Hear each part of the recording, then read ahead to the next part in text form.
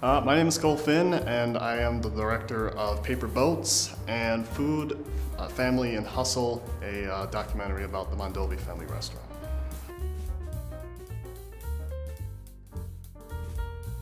Um, what inspired Paper Boats? It is uh, based off of a meditation exercise that I heard while I was working at a Christian youth camp um, a couple of summers ago. It was uh, really interesting and kind of eye-opening, and I wanted to kind of make it uh, a visual experience, so that's what I did, and I made it into a short film.